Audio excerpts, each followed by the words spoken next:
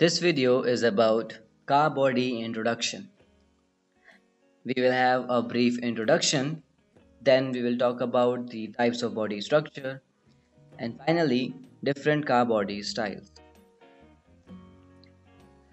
Body in white or BIW is the untreated and unpainted assembly of sheet metal parts such as doors, hoods, fenders, roof and basically all the metal framework of the car which give it its shape and identity mounted on the steel or aluminium framework which is ready to be painted.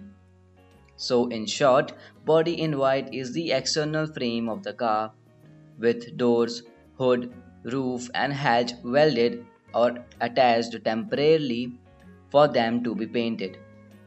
At this stage, you can finally see how the car is gonna look or of what type it is. It is called body in white because all the metal frame and components are in their natural state of appearance, which is kind of grey or whitish. Now let's talk about the types of body structure. The first one is body on frame once common throughout the industry on a variety of vehicle types, this method of construction is now largely limited to pickups and SUV.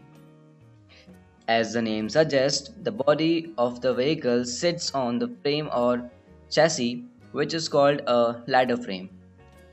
It gets the ladder in its name because it, it looked like one. The ladder frame consists of two long heavy beams of steel running parallel to each other and they are held by shorter pieces in between them giving it a ladder like shape.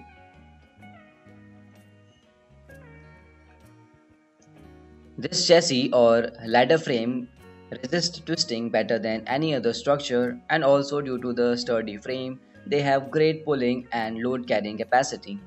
And for these reasons, body on frame structure is used for pickup trucks and SUVs. Body on frame construction are obligated to have higher floor pans due to their construction. This allows for a much higher ground clearance which is very well suited for off-road vehicles. Another benefit of body on frame vehicle is that they are cheaper to build and repair.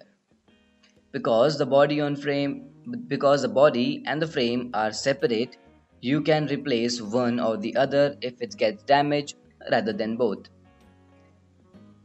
The next one is a unibody or a monocoque. This setup integrates the frame and the chassis. That is, the frame and the chassis are combined to form a single frame which is called a monocoque.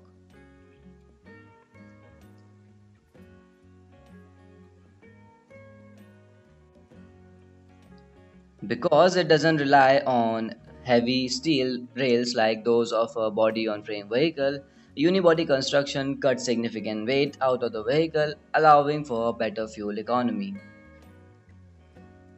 Now, the frame around the customer or the occupant is called the roll cage and is made uh, very rigid.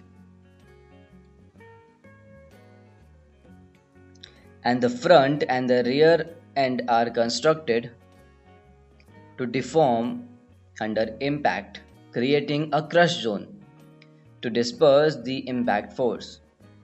Due to this reason, unibody frame is much safer as compared to body on frame. Because of their better safety and fuel economy, they are well suited for mass produced cars, minivans, and small SUVs, which are very suitable for city commute. Now talking about the car body types or styles. Now there can be a wide variety or types or styles of the car body depending upon the manufacturers and different countries. In India, the few common body styles are a hatchback, a sedan, coupe, convertible, pickup, SUVs or MUVs, wagon, and van.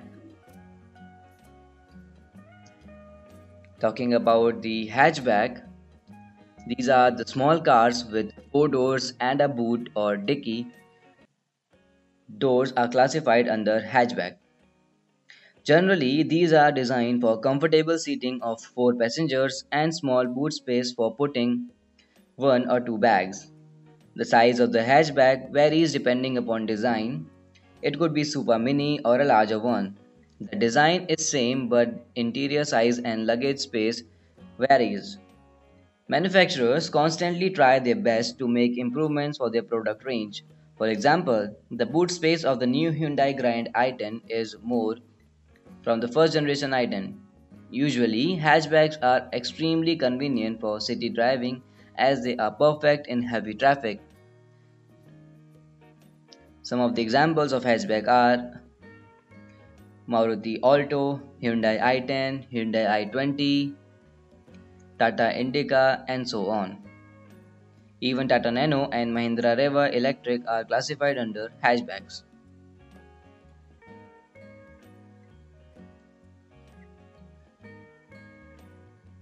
Sedan Sedans are the car designed to for comfortable seating of 5 passengers. Sedan comes with larger trunk sizes which can be used for carrying larger amount of luggage. The features of sedan include large overall dimension that is length, width, height and wheelbase. Many times the existing hatchback car design is itself used for sedan with boot space extended. Within the sedan class itself, there are wide varieties of options available depending mainly upon dimensions.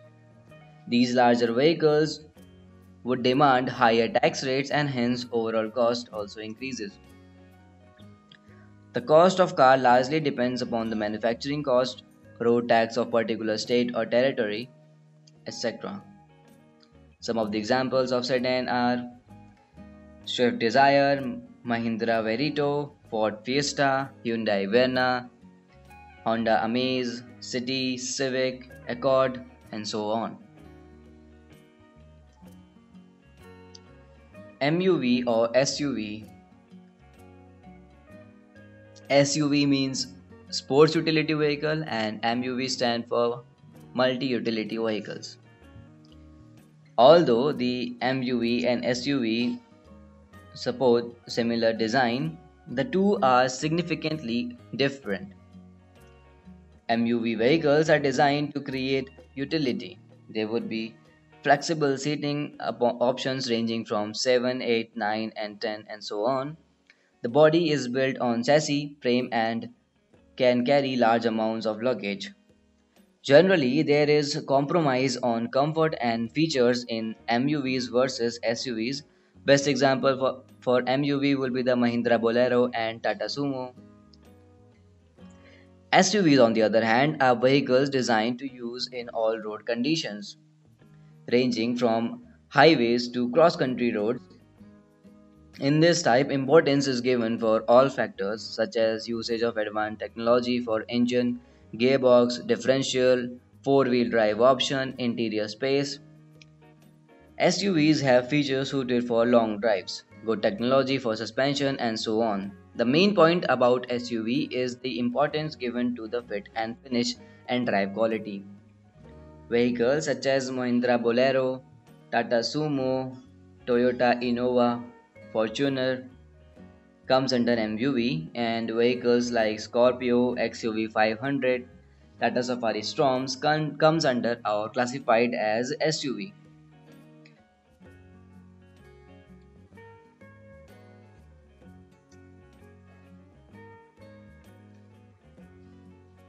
Coupe or coupe as in French. Coupe is the name given to sedan cars with two doors only. The two doors are a bit larger and tough rear seat is available in some models. Here, main importance is given to styling, luxury, and image. Coupe design is usually is used mostly in European countries and in India though available the number of people that prefer this type is very less. Examples of coupe are Aston Martin V8, Audi RS5 and so on.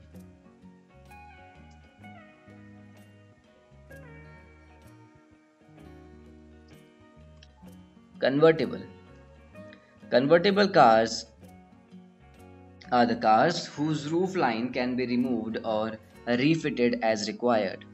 Generally, it's available in high end luxury vehicles. Electromechanical devices are used for step by step folding of the roof lines. In earlier vehicles, leather materials were used. In modern vehicles, the metal roof lines with design of folding part by part and eventually rest on or in trunk part of the vehicle. Operating of a button is good enough for folding or putting back the roof lining. Convertibles are most frequently used in cold countries wherein weather temperatures is quite less and also roads have lesser dusty conditions. It's purely and a preferred choice for the person with passion of using a stylish car and the feel of air in, in here when driving vehicle. In India also there are a quite number of convertible cars available and till date its the most demanded con- conditions are hot, hard top sedans. Some of the examples of convertible car are Mercedes SL Class and Mini Cooper convertible. Wagon Wagon is a type of vehicle with good combination of hatchback and sedan. These models have advantage of larger space behind the second row. It can be either used for luggage or for putting additional seats as required. The dimensions are larger than hatchback in terms of width, height. Some of the examples for wagon types are Maruti Suzuki WagonR, Mahindra Quanto, Tata Indica, and old models like Tata Estate and so on. Even Maruti Suzuki Ertiga, Nissan Evalia can be classified under the wagon category.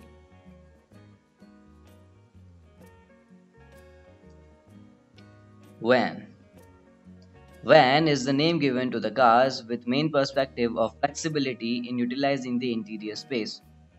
It has options of varying number of seats and hence luggage space. Best examples are Maruti Suzuki Omni E and Eeco. Vans with only front seats are used for transporting goods and services and the larger vans with passenger seats are used for institutional purposes such as transporting students. Examples of commercial vans are Tata Ace, Tata Ventura, etc.